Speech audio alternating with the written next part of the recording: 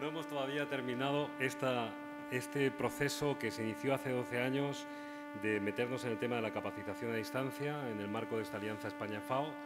Tenemos aproximadamente ya 14.000 gestores de políticas públicas que han pasado por nuestros cursos desde la época de FODEPAL hasta este momento, con más de 195 cursos que de alguna forma le han dado un prestigio regional y un reconocimiento internacional a todo este proceso que empezó con FODEPAL y ahora continúa con el núcleo de capacitación de políticas públicas.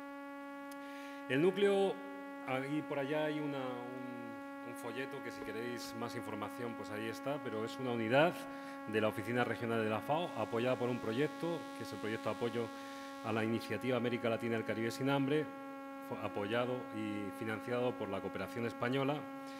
El, el, principal aporte o valor agregado de este núcleo de capacitación en políticas públicas es intentar de alguna forma capitalizar todo el conocimiento que se está generando en los proyectos y en las acciones de la FAO para mm, entregar soluciones innovadoras en el área de capacitación, considerando siempre las necesidades y los requerimientos de los países, que es a quien damos principalmente servicio.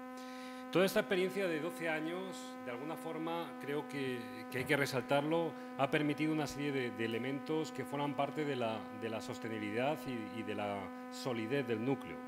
Por un lado, un modelo educativo propio que ha sido premiado internacionalmente y que de alguna forma está centrado en el participante, en la construcción de procesos de aprendizaje y, y enseñanza colaborativos y muy basado principalmente en el intercambio de experiencias, porque cuando trabajamos en políticas públicas el intercambio de experiencias entre diferentes países o entre eh, personas que participaban en diferentes procesos es un elemento clave eh, en todo este proceso. También es un modelo, otra de las riquezas de este núcleo es que ha ido construyendo un modelo de gestión más o menos sostenible, es decir, ya no tenemos los recursos de FODEPAL, hemos aprendido a trabajar con muy poquitos recursos y prestando principalmente servicios a otros proyectos que son los que financian las actividades de, capacitación. Esto yo creo que también es un elemento innovador en una organización como la FAO que no estaba preparado para esto, pero con muchos problemas hemos ido consiguiendo construirlo durante los últimos eh, siete años. Eh, otro elemento importante es el equipo, la red de expertos, profesores, técnicos, administrativos que constituyen el núcleo. Ese es otro capital importante y que de alguna forma da mucha sostenibilidad al núcleo. Y en este marco también es importante las alianzas que hemos ido construyendo a lo largo de, todo este proceso, con convenios, con instituciones, con, eh, otras universidades. Ahora acabamos de firmar una, un acuerdo con una red de universidades que se llama Dual, de más de 200 universidades en la región, para desarrollar actividades de capacitación. Es decir, eh, hay muchos elementos que le dan sostenibilidad a este núcleo.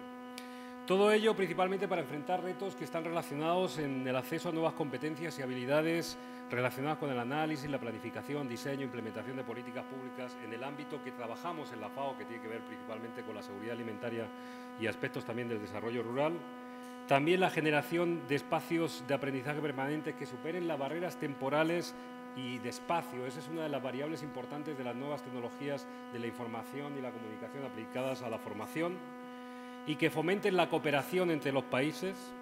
Y aquí estamos pasando de gobiernos que estaban en la sociedad de la información, algunos no tanto, pero algunos estaban en esa sociedad de la información, y tenemos que pasar a gobiernos que están en estos ámbitos en la sociedad del conocimiento y el aprendizaje.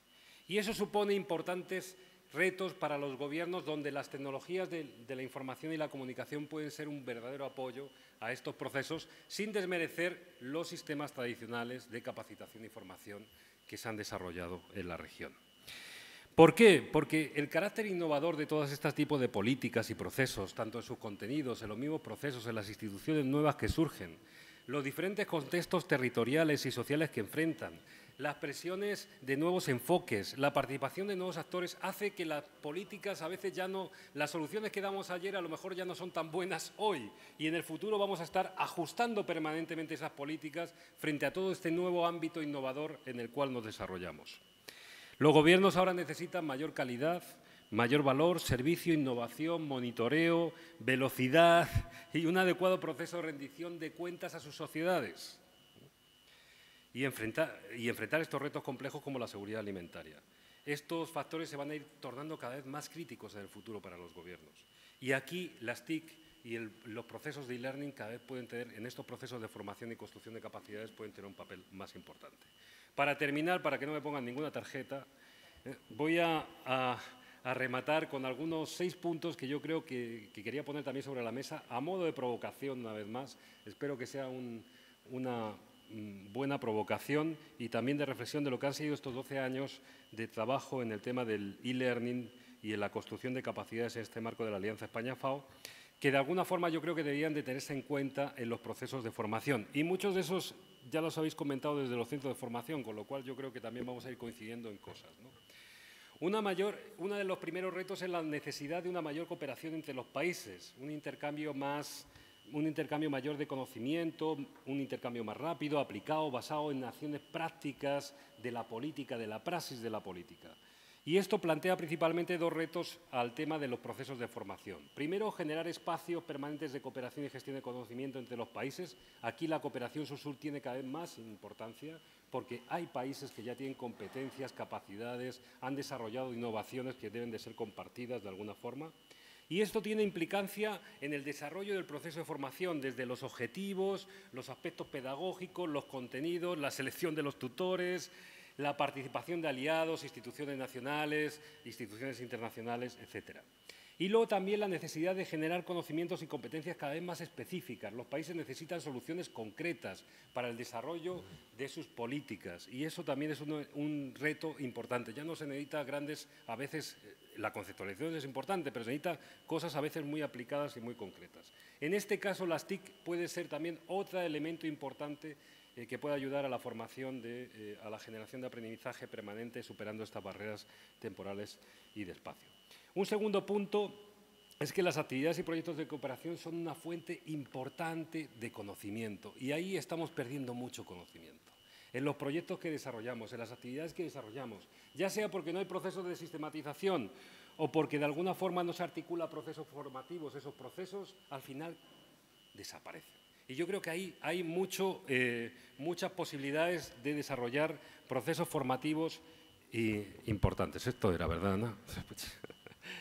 Eh, entonces, ahí también hay un gran valor en ese conocimiento que tienen los proyectos, que de alguna forma hemos visto que esta forma de trabajar con los proyectos directamente para construir eh, procesos formativos en donde ellos nos han apoyado con los recursos y nosotros hemos dado el servicio, han servido para construir conocimiento, bueno, eh, difundirlo y de alguna forma apoyar un proceso que estábamos llevando a cabo. Otro aspecto importante de los procesos formativos en este ámbito de las políticas de seguridad alimentaria es el tema de la flexibilidad. Flexibilidad de la modalidad de formación que permita adaptarse a las necesidades, a los tipos de contenidos que necesitamos, a las características del público objetivo, las características de las contrapartes que estén involucradas y, por supuesto, también los costos que pueden asumir esas contrapartes. Y en ese contexto también las TIC son un elemento importante que nos ayuda a dar flexibilidad a nuestros procesos formativos. En el ámbito de las políticas públicas, otro elemento importante que comentaba mi, colega es que este ámbito, en el ámbito de las políticas públicas los procesos de formación están vinculados a procesos de cooperación técnica. Y así es donde sacamos mayor eh, provecho de estos procesos de formación, cuando están vinculados a procesos de cooperación técnica. Generalmente suele haber un curso, luego hay una labor de asistencia técnica, de coaching. Tengo muchos ejemplos que podría dar, pero si no se articulan a procesos de, a procesos de asistencia técnica, el impacto, desde nuestro punto de vista y nuestra experiencia, va a ser menor. También otro aspecto que se ha comentado aquí, la necesidad de generar capacidades locales. Y por eso cuando desarrollamos procesos formativos, la, eh, ampliación de las alianzas con participación de universidades locales o la participación de actores locales es un elemento clave para que esos procesos continúen y para que también esa forma de conceptualizar el problema, esas herramientas se posicionen dentro de las instituciones locales que van a difundirlas posteriormente. Así nosotros hemos estado trabajando con, esta red de universidades UDUAL, pero también estamos trabajando con el Observatorio de Derecho a la Alimentación para América Latina y el Caribe, que es un conjunto de 21 universidades que están intentando posicionar el tema del, del enfoque del derecho de la alimentación dentro de sus universidades. Y luego tendría el último reto. ¿Cómo voy con las pancartas? El último reto es acabar a tiempo. Muchas gracias. No, no, no, no. El último reto tiene que ver con un aspecto para mí que no es el último, sino que es principal. Es cómo toda esta capacidad que se ha construido con un esfuerzo de la cooperación española puede ser utilizado por la propia cooperación española o otras cooperaciones. En esto hemos abierto un primer camino que es el MOU, que yo creo que vamos a aprender a ver cómo podemos eh, fortalecernos, pero hay muchas más posibilidades. Eh, ustedes tienen a su disposición toda la, toda, la cooperación técnica española y cualquier otro tipo de cooperación, una herramienta que ha sido probada, que tiene calidad, y que puede ayudarles mucho en sus trabajos de asistencia técnica o de cooperación técnica con los proyectos. Con unas calidades, con unos costos que eh, están en el marco de la cooperación. Eh, también, por supuesto, ya hemos lanzado la convocatoria de cursos ahora. Está abierto, hay un convenio especial para los funcionarios de las de la cooperación española en el marco del MOU. Entonces también les invito a entrar en la página del núcleo para ver si hay algún curso que está interesado, pero también podemos articular alianzas concretas para desarrollar procesos formativos en sus labores de cooperación técnica y reitero, este instrumento se construyó con el esfuerzo de la cooperación española. Hay una coordinadora española del núcleo, que es Margarita eh, Nieto, que desgraciadamente no nos pudo acompañar, iba a venir aquí a explicar, a, hablar mejor que yo del tema del núcleo. Está a vuestra disposición y bueno, ese sería mi último comentario. Muchas gracias.